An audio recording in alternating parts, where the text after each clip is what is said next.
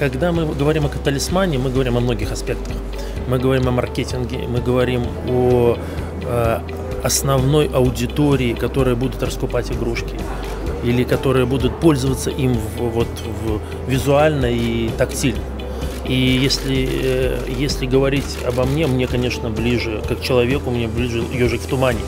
Да, из тех, многие, наверное, не понимают, про что я говорю, да, это ну, старый советский мультфильм, да, но если говорить о нынешнем поколении, о нынешних поколениях болельщиков, которые, многие из которых родились уже в этом тысячелетии, они воспитаны на Человеке-пауке, они на, воспитаны на комиксах, и, скажем, мы должны были удовлетворить и формат англоязычной аудитории, европейской, 50-процентной э, латышской составляющей.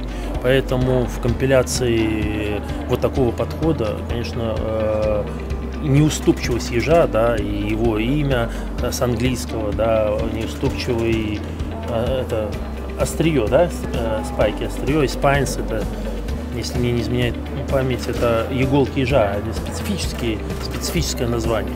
Поэтому, наверное, вот эта неуступчивость, это э, колючесть, она характерна для наших команд, в большей степени для Латвии, к сожалению, в, для нас, к сожалению, в последнее время. Но я думаю, что к 2021 году мы такие же будем колючие и неуступчивые по отношению ко всем соперникам. Да, и мы подумали, что было бы здорово придумать персонажа, который понравится и латвийской стороне, и белорусской. И когда мы спроецировали на хоккейную площадку ежа, то это просто идеальный образ, который а, характеризует две наши сборные, две наши страны.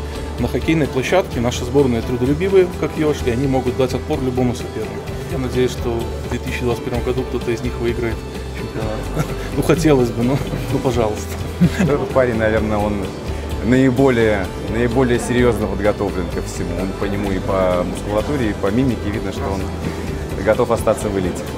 Считаю, что талисман очень сбалансированный, в меру дерзко, в меру э, сильно, крепко и при этом с улыбкой. Современно, актуально. Главное, чтобы нашей сборной э, принес победу вместе, как было одним из игров сказано, вместе с солнцем и солнечной погодой, как сегодня. Хорошо, мне нравится. Крепкий, заметный, запоминающийся символ.